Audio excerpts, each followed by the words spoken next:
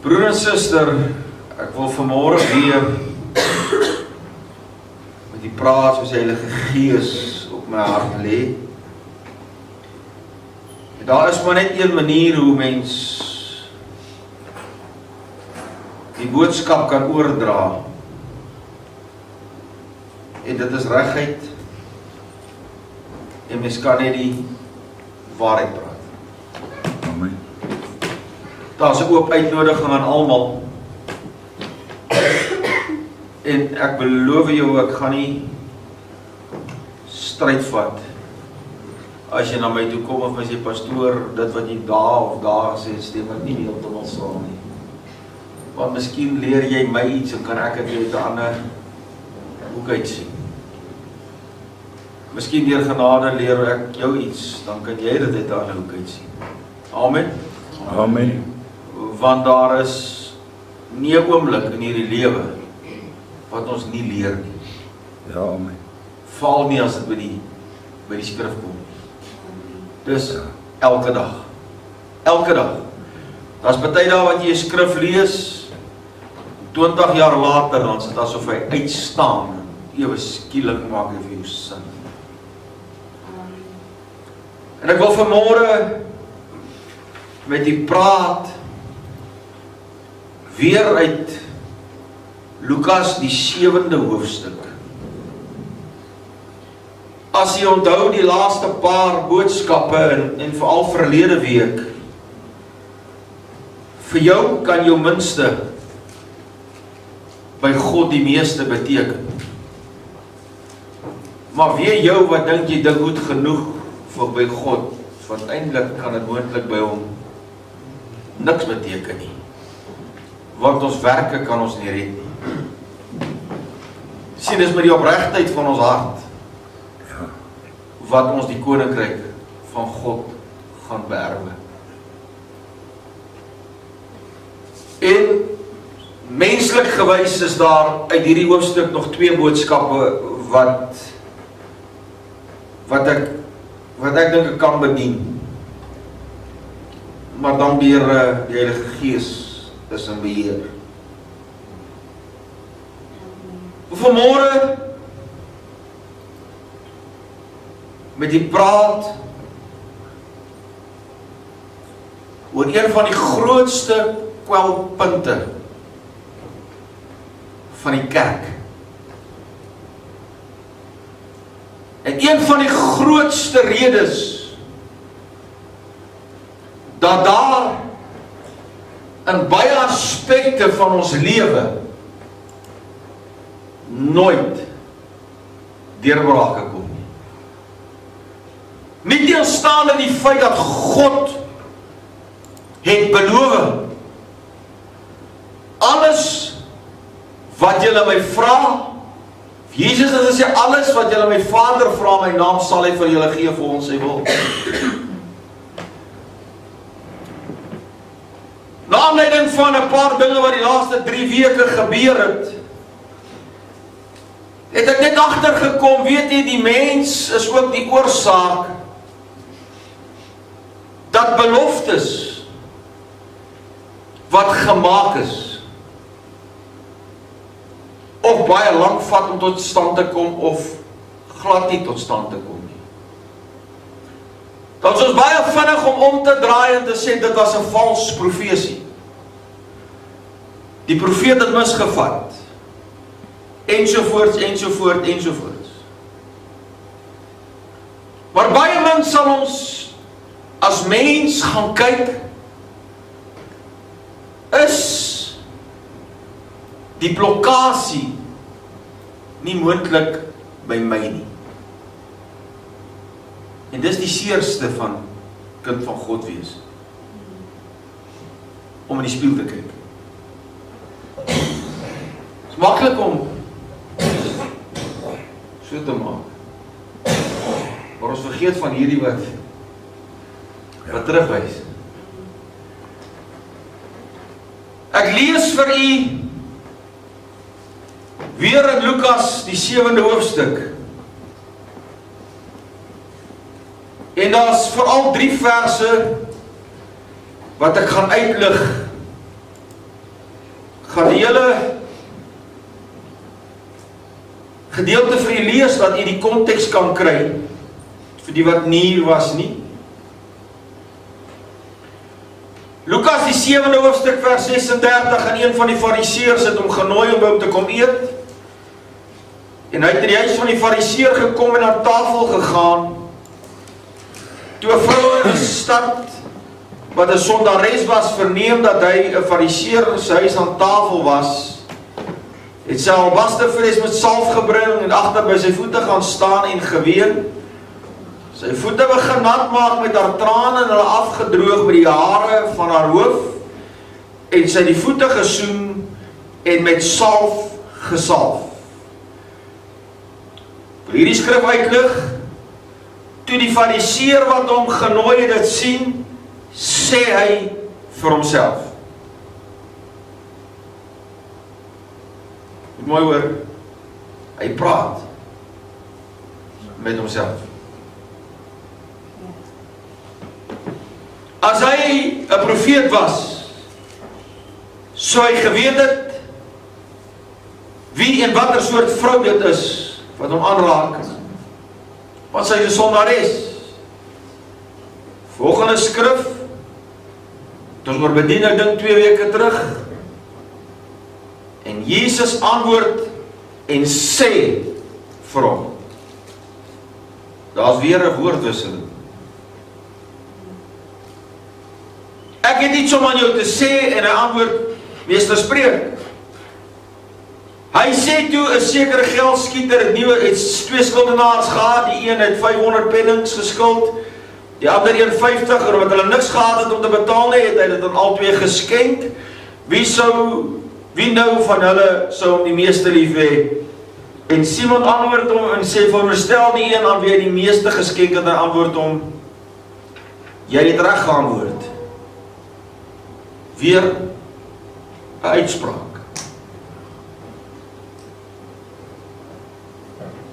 Daarop draai hy om na die vrou En weer sê hy weer uitspraak vir Simon. sien jy hierdie vrou? Ek het in jou huis gekom. Water het jy nie my voete gegee nie, maar sy het my met haar trane my voete nat gemaak met die hare van haar hoof afgedroog. 'n Soen het jy my nie gegee nie, maar sy het vandat sy ingekom het nie opgehou my voete te soen nie. Met olie het jy my hoof nie gesalf nie, maar sy het my voete met salf gesalf. Weer 'n uitspraak. Daarom sê ek vir jou. Haar sondes wat baie is, is vergewe. Want sy het baie lief gehad, maar hy wie weinig vergewe, het weinig lief. Daai is 'n baie diep boodskap op 'n stadium op sy eie. Wie weinig vergewe, het weinig lief. En hy sê vir haar weer uitspraak. Telke maal is dit woorde. Jou sondes is jou vergewe. Toe begin die aan tafel was by hulle self sê Weer 'n uitspraak. Woorde. Wie is hierdie man wat selfs sondes vergewe? En hy sê vir die vrou weer 'n uitspraak. Ek gaan nou sê hoekom bly ek sê weer 'n uitspraak. Jou geloof het jou gered. Gaan in vrede.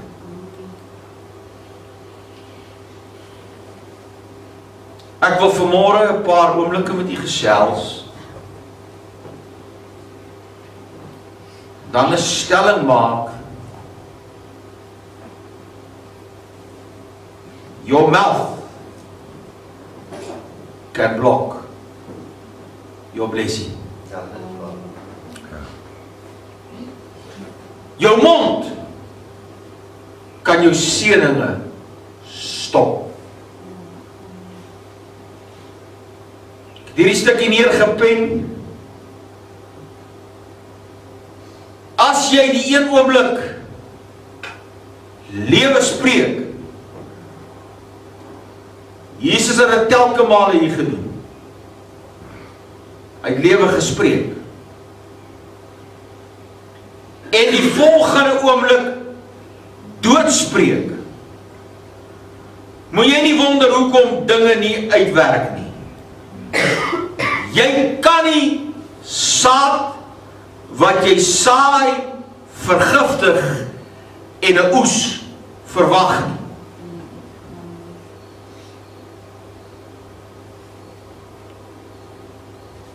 Jou woorde wat jy spreek is veronderstel om woorde van lewe te wees. Maar ongelukkig het die mens op 'n plek gekom waar hy in sy eie onwetendheid en baie keer soms met wete daai eie saad weer vergiftig.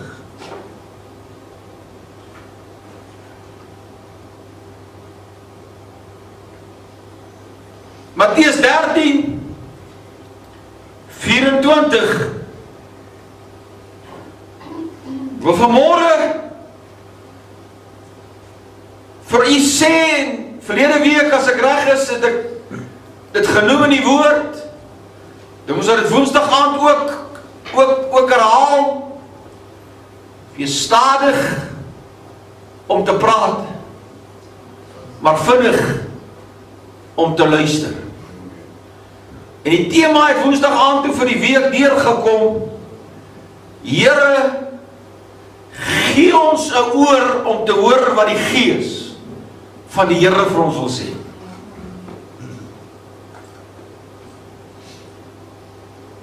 Ander gelykenis het hulle voorgehou gesê die koninkryk van die hemele is soos 'n man wat goeie saad in sy land gesaai het.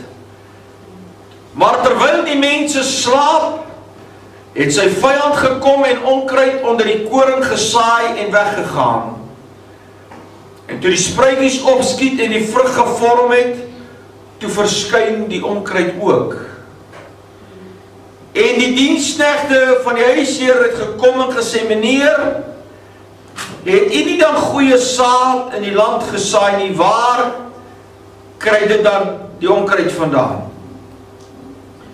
En hy antwoord hulle: "’n vyhandige mens het dit gedoen."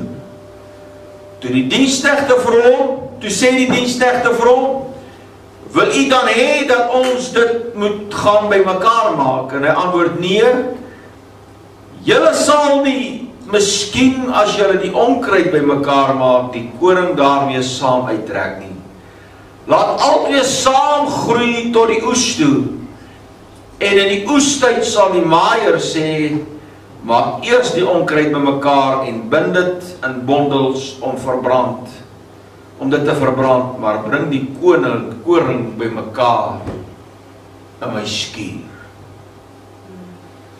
Hierdie skrifgedeelte van môre aangehaal met die spesifieke doel en verwysing. Dit is presies wat ons as mens in onsself doen. Ons is by mekaar telke male en ons praat en ons getuig en ons bemoedig mekaar met positiewe woorde of jy staan in die môre op en jy saai vir die dag jou gebed en jy spreek woorde uit van lewe en oorvloed en en oorwinning want ons ken ons manifestasies. Prys die Here totdat die deurbraak kom. Maar eers in die dag dan word jy jou eie grootste vyand. En jy vergiftig die saad wat jy in die môre gesaai het deur uitsprake te maak en betrokke te raak by dinge wat van God geen belang is nie. En daardie onkruid bederf dan die landery waar hierdie God gegeewe woorde moet val As ek dink aan die aan die man aan die, aan die getuienis van die goeie saad wat op die vyf verskillende plekke geval het. Broer en suster, dis vanmôre, ek is nie 'n landboukundige nie, ek het nie kennis daarvan nie. Moedertjie weet ek het baie daarvan, maar ek is seker daarvan dat wanneer daar baie onkruid opkom, belemmer dit die groei van die oorlog. Want sien onkruid ontneem die grond ook van belangrike stowwe en nutriënte wat die koring moet laat groei. So stadig maar seker steel die onkruid die krag wat die koring moet laat groei. En net soos ons as mens vanmôre ons het 'n 'n visie. Die wonderlike en die kosbare dinge wat die Here vir ons in staat gestel het. Maar omdat dit nie waag nie kom die vyand. En hy besoedel my gedagtes en hy saai onkruid tussen my vrug wat ek moet dra. Jakobus 6:63 Dit is die gees wat lewend maak. Vlees is van geen dit nie. Die woorde wat ek tot julle spreek is gees en lewe. Daar's 'n môre net een manier hoe u en ek op die plek kan kom waar God ons wil hê. Is om in die gees hemelse dinge te bedink. Want dis lewe. Daar's 'n skrif wat sê dat die gees maak lewend en die letter maak dood. Eendag iemand gesê baie praatjies maak baie gaatjies. Sometimes you just need to know when to en verskoon die Engelse woord nou vanmôre. You just need to know when to shut up.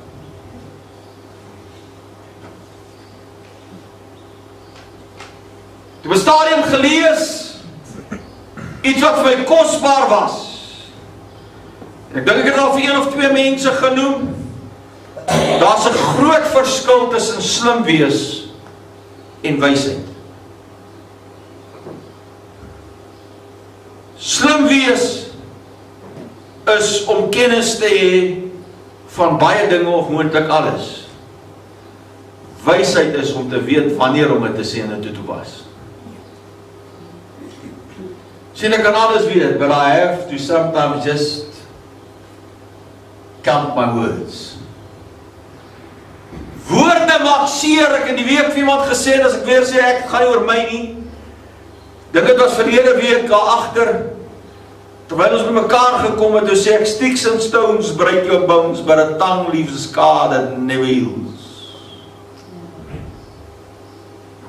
Die tong. Die mond. My woorde. Johannes 15:7 sê Jesus as julle in my bly en my woorde in julle dan sal julle vra net wat julle wil hê. En julle sal dit kry. Hierdie skrif bevestig my aanleiding. Maybe It's your words that's blocking your blessing. Want woorde ontstaan in die hart en in die verstand. Daar's 'n skrif wat sê ek het hom neergepen nie wat in die hart van die mens opkom en waarvan hy vol is, loop die mond van oor. En gewoonlik is dit daai reaksie wat onkruid saai. Wat die seëninge wegvat. Laat jy nie op die plek kom waar God jou wil hê. Laat jy jou kragtadiglik kan gebruik nie. 1 Korintiërs 4:18 Nou hierdie skrif het vir my nogal mooi betekenis gekry. Terwyl ek dit lees in die konteks van hierdie woord wat ek vanmôre aan die oordra. Maar sommige het opgeblaase geword asof ek nie na julle sou kom nie. Tog sal ek gou na julle kom as die Here wil. En dan sal ek te wete kom die woorde van die wat opgeblaas is nie. Maar hulle krag. Want die koninkryk van God bestaan nie in woorde nie, maar in krag. Nie deur krag of deur geweld maar deur sy gees. Hoeveel keer wil ek met geweld en met my woorde situasies hanteer? Wil ek myself my opinie afdruk en afforceer op mense en as ek eers op die plek waar ek my oopmaak vir enige ander opinie of manier wat sê moontlik dat hierdie broer en suster iets weet, laat ek net luister nie. because I've already made up my mind. Wat ek sê is ja en amen. En probeer my oortuig dan gaan jy my kry.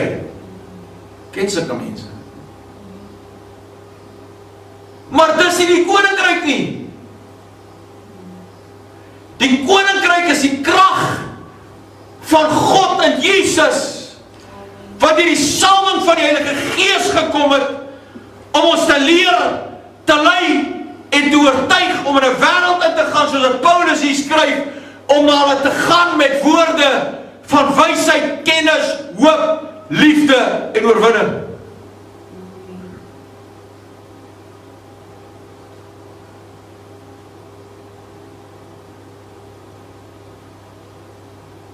Woensdag aand, as ek reg is, het ek vir sy Sandra sê Brodan kan my reg help. Ons bestaan oor dit gesels in die week. Ietsie wat ons as 'n jong kinders al geleer het. Nie kan dit maar gaan beproef hoor. As twee boeke in die Bybel as jy dit kan uitleef. Hoor mooi. As jy dit kan uitleef, is jou kans om hemel te maak amper verseker. As jy boek Spreuke in die boek Jakobus. Want dis absolute rigtingwysers. Daarom skryf Jakobus 3:1 Hierdie was verlede week ook aangehaal toevallig. Moenie baie leermeesters wees nie my broers, omdat julle weet dat ons 'n groter oordeel Want ons almal struikel dikwels as iemand in woorde nie struikel nie, is hy 'n volmaakte man in staat om ook die hele liggaam in toom te hou. Kyk ons sit stange in die perde se bekke sodat hulle ons gehoorsaam kan wees en ons stuur hulle hele liggaam daarmee. Kyk ook die skepe alhoewel hulle groot en deur ewige winde voorgedryf word, word gestuur deur 'n baie klein roer waarteen die stuurman wil. Net so is die tong 'n klein lid en beroem hom op groot dinge. Kyk hoe groot hoop hout steek 'n klein vuurtjie aan die brand. As die tong ook 'n vuur die wêreld van ongeregtigheid net so 'n plek neem in die tong onder ons lede. Dit besmet die hele liggaam en steek die hele lewenswandel aan die brand en word uit die hel aangesteek. Want elke soort natuur van wilde diere, voëlgrypende sowel as see diere word getem en is getem deur die menslike natuur, maar die tong kan geen mens stem nie. Dit is 'n onbedwingbare kwaadvol dodelike gif. Dan kom hy en hy sê daarmee loof ons God en die Vader daarmee vervloek ons die mense wat na die gelykenis van God gemaak is.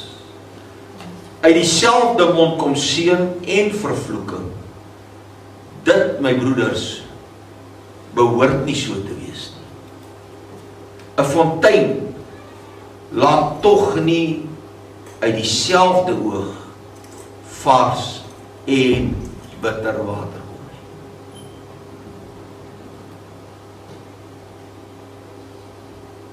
My woorde. Voordat ek die laaste twee gedeeltes vir u lees, gaan ek terug na Lukas 7 toe. Dank God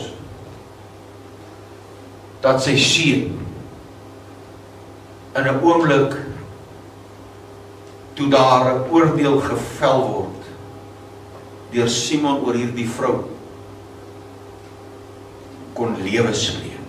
Ja. En die hoofstuk afsluit met jou sondes is jou vergewe. En hy saai die saad van ewige lewe in haar lewe. Intussen is die ander daai hulle probeer die saad van ongeloof saai deur te sê wie is hierdie man dat hy self sondes kan vergewe vanmôre is die mens op dieselfde plek waar waar ons baie sulke dinge doen net op baie ander maniere. Wie dink hy is hy? Wie dink sy is sy? Hoe kan hy dit sê? Hoe kan sy dit sê? En en en en en. Maar ek wil vanmôre vir u sê daar's een wat lewe spreek, weet watter gedagtes ek aangaan die Here koester sê die Here. Is gedagtes van 'n hoopvolle toekoms en nie gedagtes van teëspoed en onheil nie.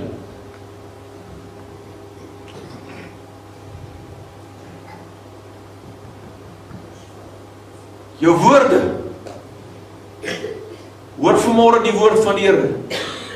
Bepaal jou lewe.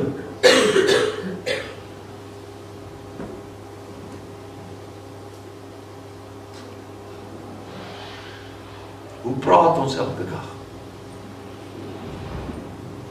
Wat sê ons?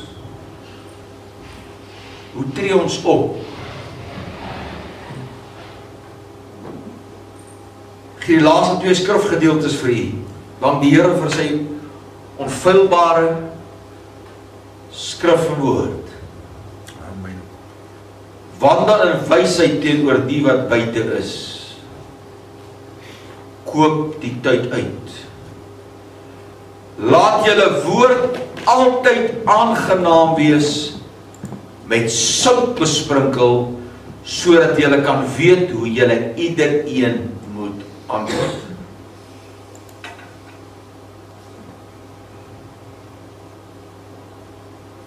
Wat is vanmôre deur die kerkewêreld die grootste oorsaak dat Christendom eintlik besig is om te kwyn?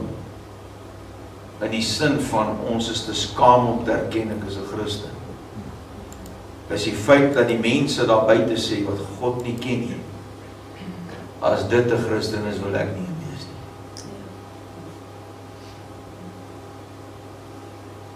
is my woorde met sout besprinkel. Is ek vanmôre op 'n plek waar ek na buite toe 'n beeld uitdra van Christus gestalte. Christus bediening. Ek gaan nou 'n paar goed deur die Heilige Gees noem. Ek het dit nie neergepen nie.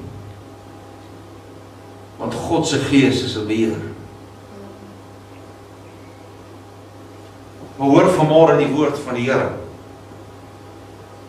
Jou deurbrake kom nie want jy spreek dit.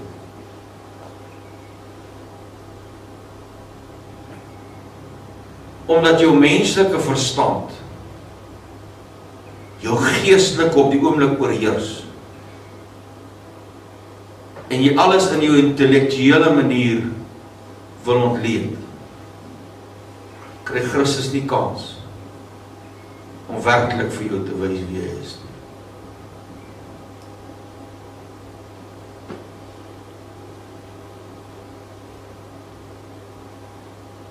Daar's vanmôre 'n kardinale punt van bitter baie belang.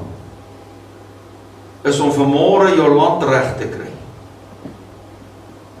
Praat van die Gees.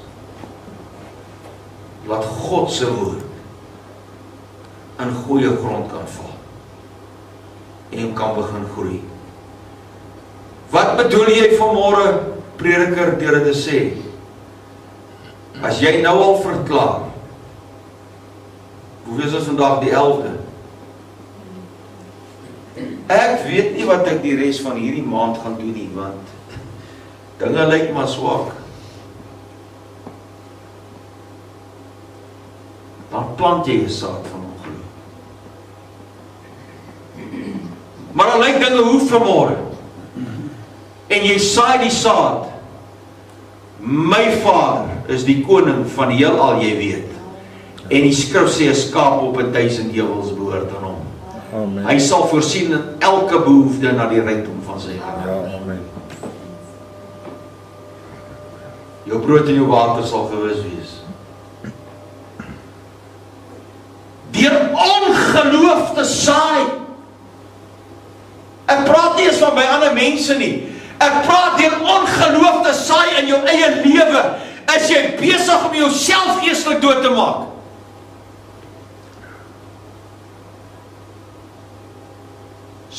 Spreek lewe.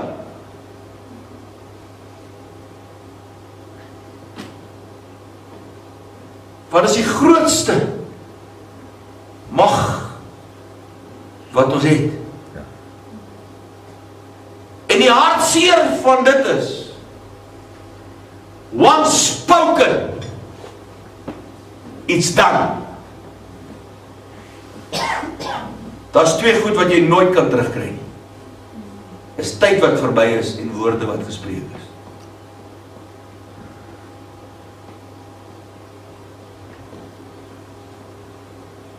Maar dan sê hy My kind sal nooit regkom nie.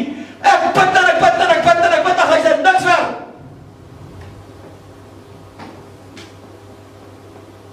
Here, U het vir my kind ook gesterf. Hy's aan U gegee. Hy's in U hande. En ek weet op die regte tyd sal U hom soos 'n brandhout uit 'n vuur kry. Ek vat net 'n voorbeeld van môre. sien vanmôre kan ons na hierdie botteltjie kyk wat ek hier oopgemaak het. Jy het die voorbeeld al gekyk. Dis nou 'n stiekertjie. Ons kan nou vanmôre sê, "Oeg, daar's al 'n kwart van hom gedrink, maar prys die Here, hy's nog 3 kwart vol." Ja, amen. Is 'n glas half leeg? Of is 'n glas half vol? My woorde het vanmôre 'n absolute invloed op my lewe.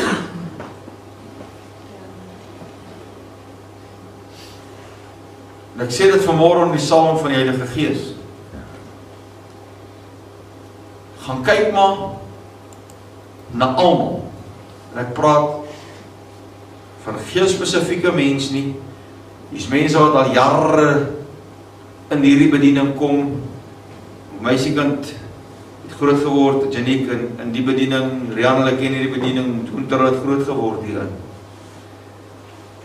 Is die ouens wat die meeste probleme veroorsaak.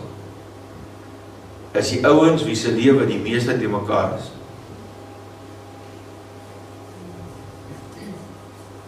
Want hulle saai onmin. En as jy onmin saai, gaan jy on met my.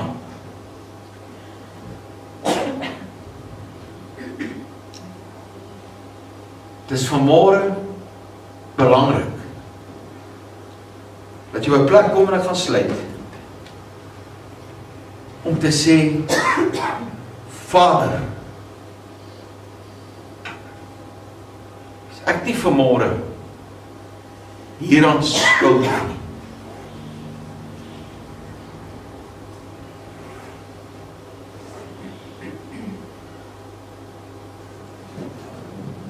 Die vrug van die gees ons gaan daai liedjie nou sing moedertjie vrede liefde blydskap lankmoedigheid sagmoedigheid verdraagsaamheid en hy het dit alles uit blind geloof hoop liefde. Sit jy nie vanmôre op 'n plek in jou lewe omdat jy 'n ekte gewoonte is om my sê te sê.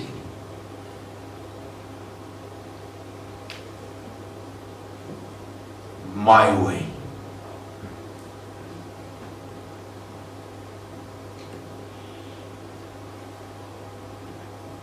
Die lewe is gee.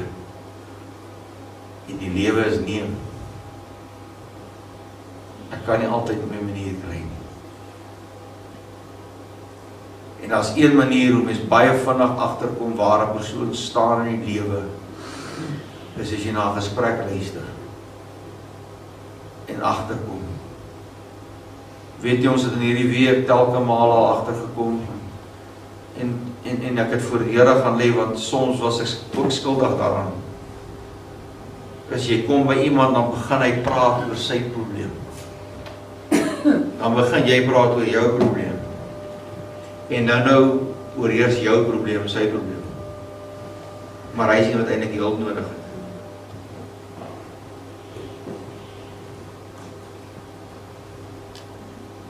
Dis onkruid wat jy saai. Terwyl as jy net luister dat daai persoon leeg maak en vrykom van dit wat hom vashou, dan is jy besig om die onkruid uit te haal en te skei van die koring.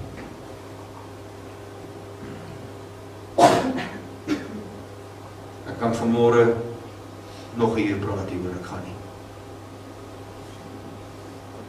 Wees stadig.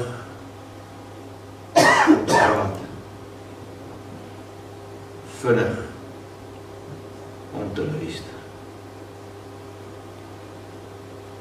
Ek wil vanmôre vir u sê en ek vat 'n voorbeeld as ek byvoorbeeld by broer Jakob kom en ek praat negatief van hom Chris byvoorbeeld of broer Daan dan is ek eintlik besig oor hulle 'n negatiewe uitspraak te maak. En dan wonder ek hoekom loop dinge nie reg nie. Want sien ek spreek dit uit.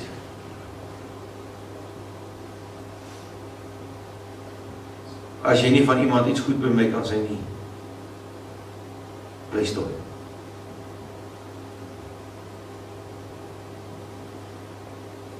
As iemand by jou kom en sê het jy gehoor, bestraf hom. Hoorie kan ek jou gou iets vertel en ek vat net jou my vertroue. Hoorie, hy vat jou nie jou vertroue nie, hy gaan jou naam noem en sê jy het so gesê.